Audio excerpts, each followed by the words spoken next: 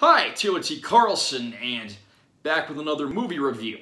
Today we're going to be looking at Kino Lorber's reissue of one of my personal favorite comedy films of all time, The Producers. This, of course, was the first feature-length film from Mel Brooks, originally released theatrically in 1968, starring Zero Mostel and Gene Wilder. This movie has been released on Blu-ray before. I believe it was Shout Factory that released the older disc, but now Kino Lorber's trying their hands at this one with a new 4K master. So we'll do a quick unboxing of this. I'll give a recap of the film, my opinions, and we'll look at the bonus features that are included as well. So here's the cover art. I absolutely love this old-fashioned artwork here. It really represents the film pretty well. There's our spine with the title. Pretty much looks the same as the spine of any Kino video release. That cover's got some pictures and a description of the film description of the bonus features, cast listing, and all the other copyright data and so forth. And now we'll crack open the case. Unfortunately, the inside of this is very bare bones and disappointing. Even the old Shout Factory release at least had a reversible sleeve, which was kind of nice, so you could switch it up a little. I mean, if they'd even just put some artwork on here or something, it would have been better than what we got. There's the disc itself. If you haven't seen The Producers, the movie revolves around a pair of unlikely protagonists who try to hatch the ultimate scheme to make a bunch of money, which unfortunately backfires. Max Bialystock was once the toast of Broadway with tons of shows running, lots of success, lots of money, but he's fallen on hard times to the point that just to make ends meet and to try to produce more plays, he has to seduce old women. Things take an interesting turn when he meets a meek accountant named Leo Bloom, who, of course, doesn't really care for his own life and is largely in denial, but the two hatch a scheme that involves raising more money than is necessary to put on a play, make the play flop so that the creditors won't audit the books, and then they take the profits and run away. They decide to come up with the worst possible play ever written, the worst actors, and the worst directors. They find the worst play ever written in the form of something called Springtime for Hitler, written by a Nazi in hiding, and they find the most ridiculous director and eccentric actors they find, including a druggy hippie to play Hitler. And just when it looks like everything's going to flop and these two are going to have the most successful scheme of all time, everything backfires and it becomes a surprising, laugh-worthy, comical hit. This movie, of course, was very controversial even if it's at its time of release. Pretty much anything that involves Nazis is going to be controversial to some extent. And this came out only about 20 years after World War II ended, so I mean, you still had Holocaust survivors that were very young at the time. However, this movie in no way glorifies Nazis or Hitler, and in fact does quite the opposite lampooning them in the absolute best possible way. You also have to keep in mind that this film had a Jewish director and Jewish stars. There are a few dated stereotypes in the film, but honestly, I think that just adds to the charm of it. This film is absolutely hilarious, even 50 plus years after its debut. The performances here from Zero Mostel and Gene Wilder are classics for the ages.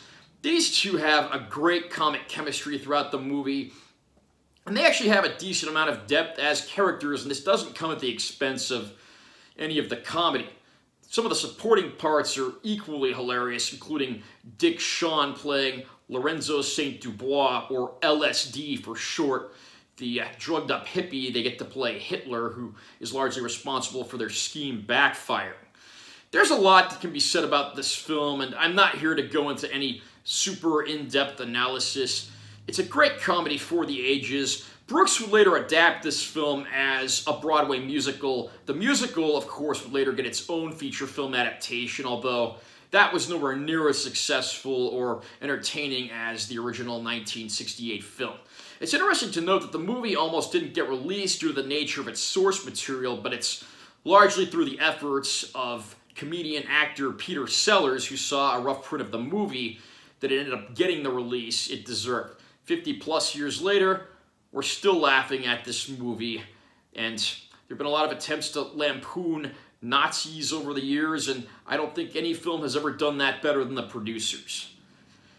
This release of the film, according to the packaging, is struck from a new 4K master. Disappointingly, it's not a 4K ultra high def disc, it's just a 1080p Blu-ray disc. But I won't deny that this transfer looks gorgeous. In 2018, there was a UK release of the film on Blu-ray that sported a 4K master. I believe this is most likely the same master that was used for that release. I don't own the earlier Shout Factory disc, so I can't do a direct comparison, but this is a very good-looking transfer of an older film. It retains all the natural film grain, and while a few of the optic shots and some of the titles and things like that look a little rough, that's just due to the nature of how films were made back then, and that really can't be held against this transfer in particular. If you're asking me if this transfer does the movie justice, if it's worth double dipping on just to get the superior picture quality that this transfer offers, as a longtime fan of the movie, I say yes. As far as bonus features go, you mostly only get stuff that was included with the previous release. The one new feature here being a commentary track from a film historian. I, I gotta look at the guy's name. Michael Schlesinger. I admittedly don't know who that is, but I am glad they included at least one new bonus feature here for people who've already bought the film on one of these formats in recent years. Disappointingly, it doesn't include any of the newer features that were on that 2018 UK release. That had a Q&A with Mel Brooks at the TCM Film Festival hosted by Ben Mankiewicz, which I really wish we'd gotten here, as well as a TV appearance with Zero Mostel and a few other things.